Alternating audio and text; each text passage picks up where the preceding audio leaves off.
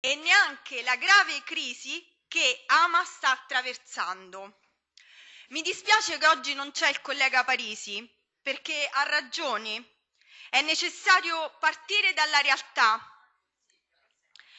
E la realtà, e la realtà gliela voglio spiegare sia alle opposizioni che al collega Parisi, perché qui c'è una storia politica che viene da quella lotta. La realtà che riguarda Colleferro è la seguente.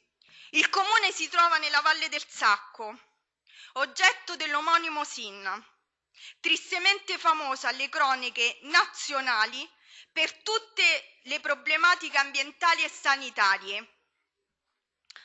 La realtà è che la popolazione residente nei pressi del comune di Colleferro e non solo, e più in generale nella Valle del Sacco, convive quotidianamente da anni con le problematiche relative alla qualità dell'aria, ma soprattutto relative al beta-esaclorociclosano, il lindano.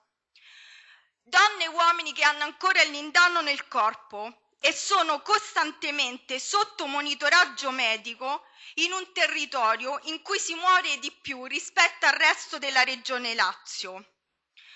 Vale la pena anche ricordare la discarica di Colle Faggiolara, che è inserita in un contesto di pregio agricolo e paesaggistico che andava valorizzato e non ucciso con la discarica a fianco del Parco della Selva di Paliano. E poi ci sono i due termovalorizzatori e cementifici. Negli anni le amministrazioni di centrodestra, sia locali ma anche regionali, hanno pensato bene di concentrare tutto lì, tutto in una porzione di territorio.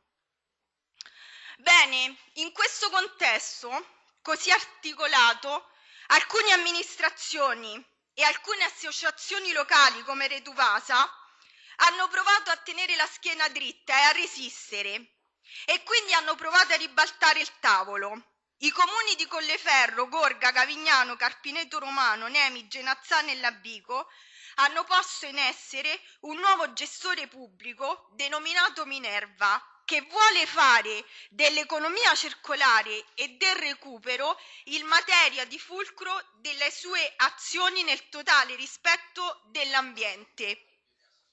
È la prima, è la prima, è il, è il primo, uh, è la prima buona pratica della Regione Lazio. E, ehm, e io questa è la situazione di partenza, care colleghe e cari colleghi dell'opposizione.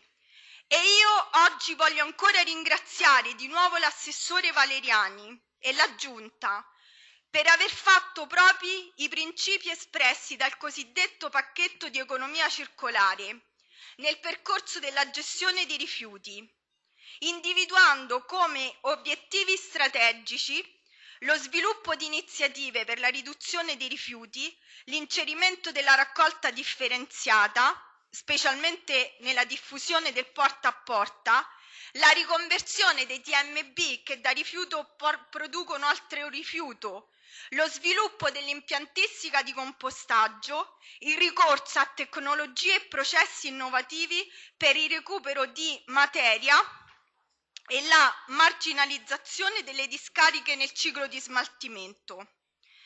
Ed è un bene che oggi quest'Aula ribadisca di portare avanti il processo di dismissione dei termovalorizzatori di Colleferro e la realizzazione di un nuovo presidio industriale, con un'impiantistica che andrà discussa nelle sedi opportune, insieme agli amministratori locali e anche alle tante associazioni, chiedendo anche l'impegno al Presidente e alla Giunta affinché si stabilisca di fissare una data di chiusura della discarica di Colle Faggiolara entro il 2019.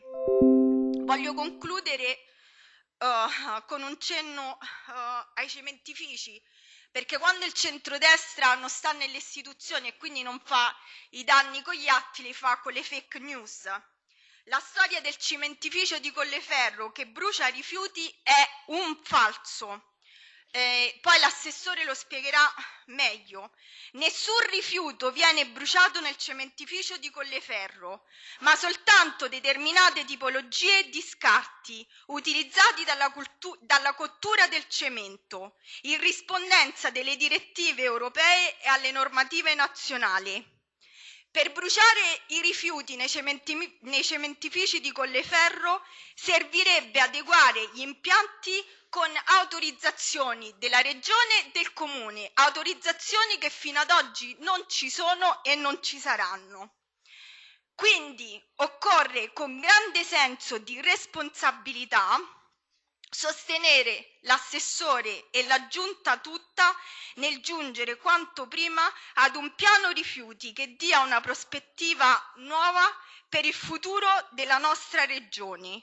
Un piano di rifiuti che vede territori protagonisti e dove ognuno deve fare la propria parte a partire dalla città di Roma, a partire dal TMB Salario di Roma, in cui i, i rifiuti producono altri rifiuti e è una vergogna il TMB come una vergogna che nessuno si occupi del lato della città di Roma. Grazie.